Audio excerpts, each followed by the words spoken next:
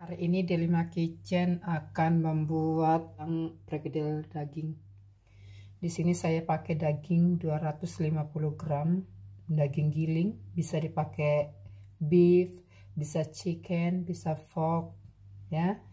Uh, 100 gram buncis potong sebenarnya pakai kacang panjang tapi karena saya tidak punya saya pakai buncis dan jeruk ada kecap ikan, garam, ini dia, uh, bawang putih tepung, cabai menurut selera. Ini saya pakai satu sendok teh seperti ini ya, uh, merica dan pengembang setengah sendok teh.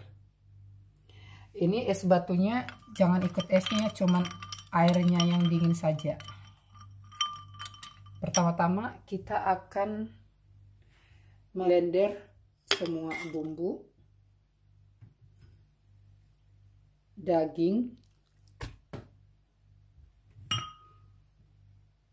Kecap ikan. Tepung.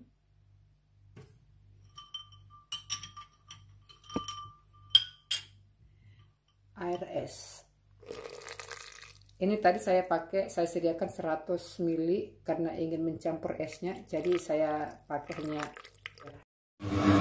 dia kita blender ya. Blender ini dia. Sekarang kita akan campurkan daun jeruk